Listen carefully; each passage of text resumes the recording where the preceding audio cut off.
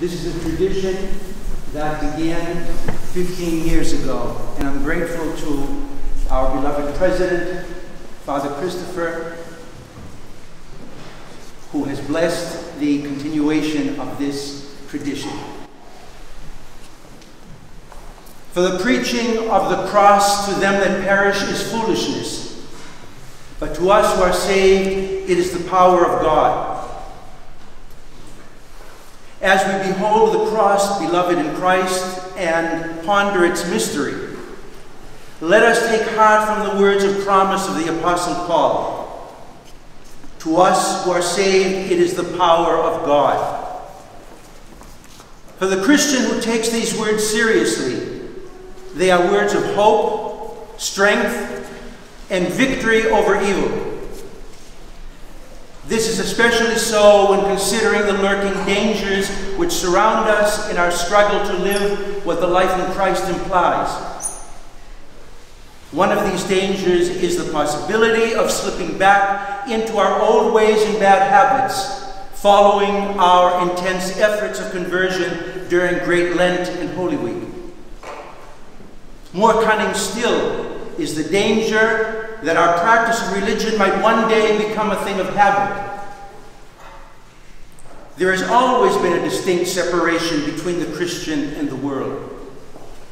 As foretold by our Lord in the Gospel of St. John, heard during the first reading of this evening's Passion service.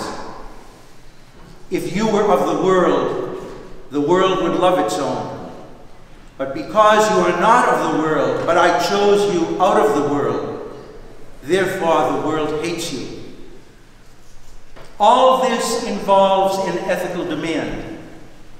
It demands a new sense of morality, a new kindness, a new service, a new forgiveness, far above the standards of the world, and it is difficult.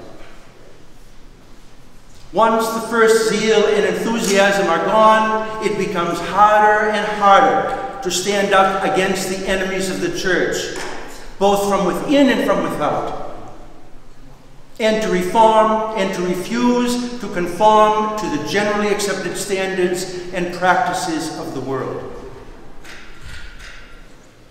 The world, as used in the scriptural reference just quoted, is hostile to the Christian it is a world without God. It does not know the Christian because it does not know Christ crucified.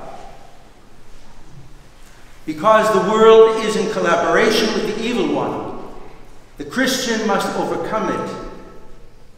In this struggle, the Christian's primary weapon is faith embodied in the power of the cross.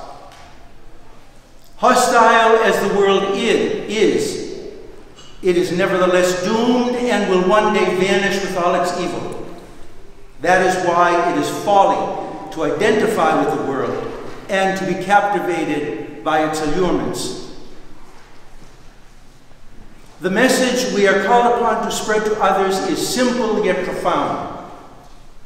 We live in an evil and hostile world.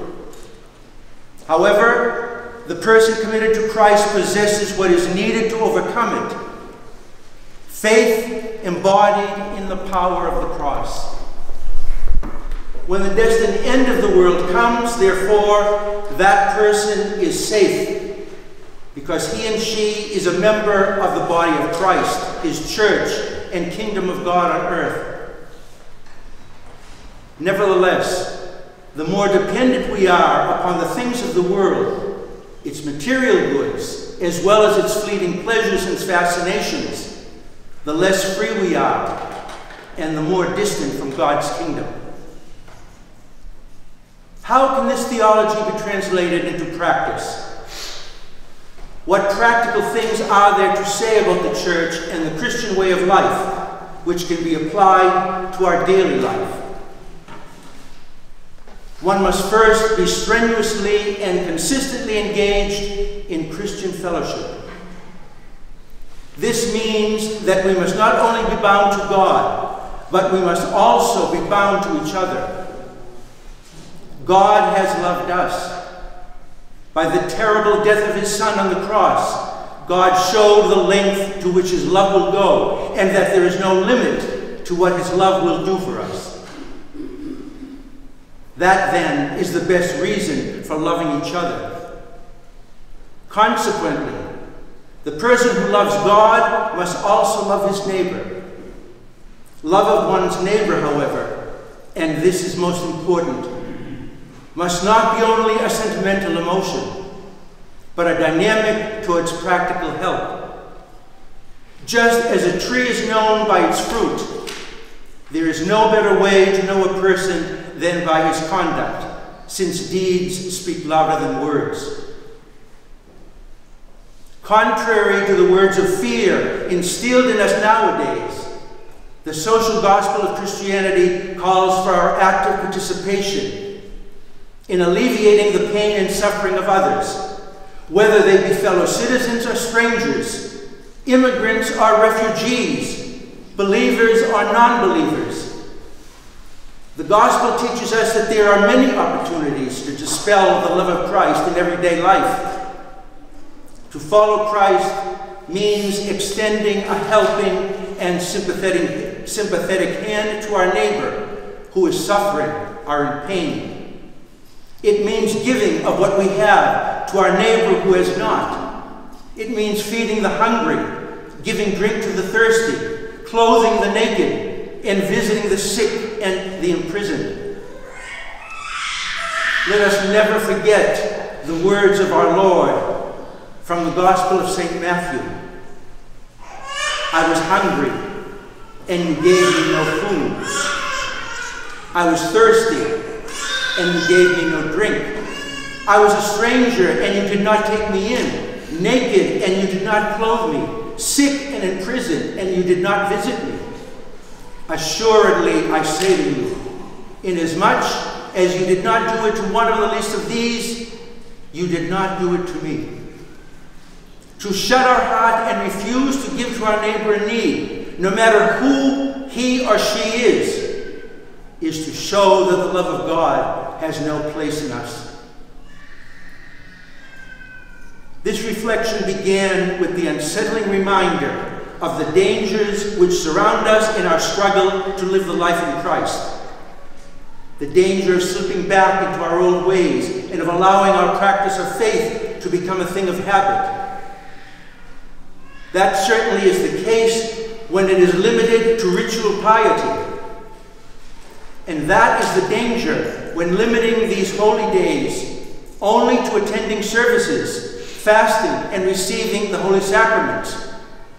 These acts are not wrong in themselves. In fact, they are essential for the Orthodox Christian who takes his or her faith seriously. However, they are meaningless when not accompanied by acts of love. The practice of faith which does not issue forth in acts of love remains a dead letter.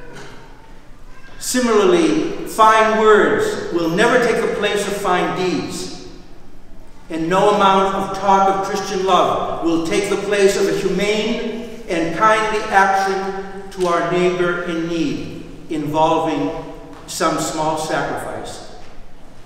For in that action of love and sacrifice, the principle of God's love for us, as manifested by, by his son's death on the cross, is operative again. Amen. Uh,